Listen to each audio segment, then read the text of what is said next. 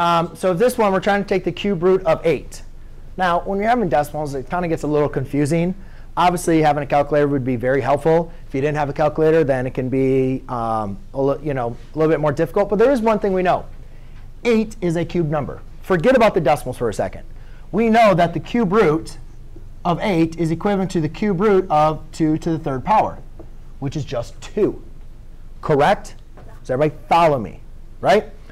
But we need to write this as something where it's going to give us this decimal. Now, first of all, this is negative, right? So if that was a negative 8, then that would be a negative 2, right? Because negative 2 times negative 2 is positive 4, times negative 2 would give us a negative 8. You can simplify the cube roots or the odd roots of negative, negative radicands, right? Just not the even. You can't simplify the even root of negative radicand.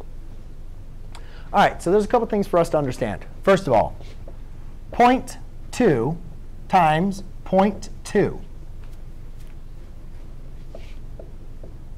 If you were to multiply 0.2 times 0.2, what happens is our decimal places move over to 0.04.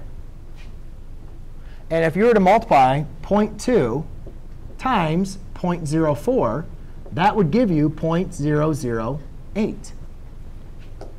So it works. Okay?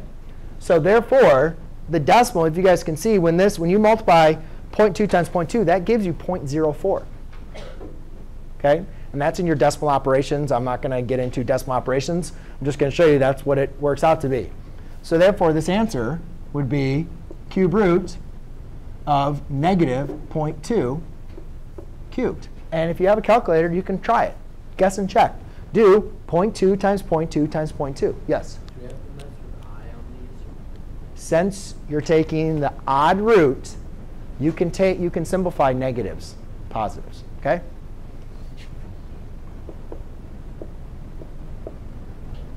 So your simplified answer would be a negative 0.2. So when you guys have decimals, your radicand is going to be a decimal, or your simplified version will be a decimal. Okay?